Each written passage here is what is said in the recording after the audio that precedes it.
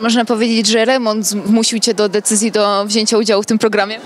E, No, to znaczy zmusił, nie zmusił, powiem tak, ja nawet nie miałem takiego, nic by mnie nie zmusiło, gdybym ja nie chciał, gdyby nie było sprzyjających warunków. Ja myślę, że to przede wszystkim tą decyzję podjąłem z jednego względu, że moja Marcela powiedziała, słuchaj, jedź, ja tu się wszystkim zajmę, a ty potraktuj to po prostu jako kolejną pracę. No bo rzeczywiście, o czym tu gadać? No ja jestem odpowiedzialny za rodzinę, to jest kawałek mojej pracy, część mojej pracy, branie udziału też między innymi w takich programach i nie ma co tu ukrywać, no my tam nie jedziemy tylko dla przyjemności, ale też zarobić pieniążki, no przynajmniej ja tak na to patrzę, bo ja mam rodzinę i to jest dla mnie ważne. E, no i to, to, to, że ona gdzieś, bo powiem tak, ja nie chciałem jechać. Gdyby ona choć powiedziała słowo, to ja czekałem, żeby ona powiedziała, że nie mogę, bo byłoby mi to na rękę, bo za dobrze mi się w moim życiu żyje, żeby coś tam gdzieś tam się z jakimiś obcymi ludźmi kotłować gdzieś tam daleko.